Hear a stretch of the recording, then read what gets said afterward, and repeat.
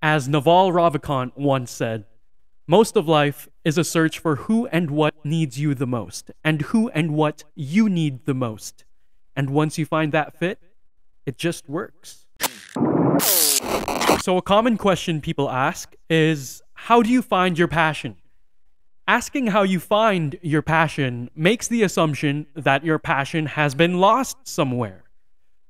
But your passion has not been lost, your passion has never been developed. Passions are created, they're constructed, they're developed. So, passion is not a lightning rod moment. It is not something that's hiding inside of you where you go like, "Oh, there it is." It is a process, and you're an architect, not an archaeologist. So there's no passion lurking in you right now, but there are areas of interests. First step, try different things. A great analogy is to taste. A lot of people claim to not like eating oysters. They think it doesn't look very tasty, it's slimy, it's gross. But if you ask them if they've ever tried it, they'll say no. And that's a very important point because you won't know what your favorite food is until you try.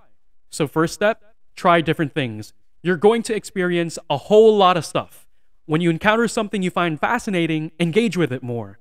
As you engage with it, ask yourself, is this turning into a real fascination? If it is, ask yourself a real simple question Do I want to become the greatest in the world at this? And if the answer is yes, and the thought of that fills you with excitement, winning that gold medal or turning that passion into an extremely profitable business or whatever, and you think, holy crap, this makes me jolt out of bed every morning and I have a hard time sleeping at night thinking about it.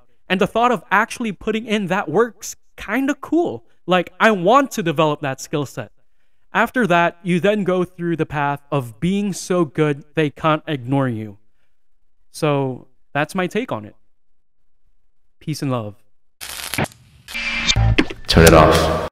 The reason most people fail is because they give up what they want most for what they want now people don't fail because they're not talented or skilled or whatever.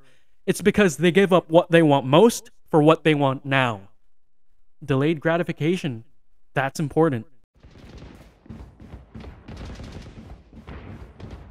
Precision kill.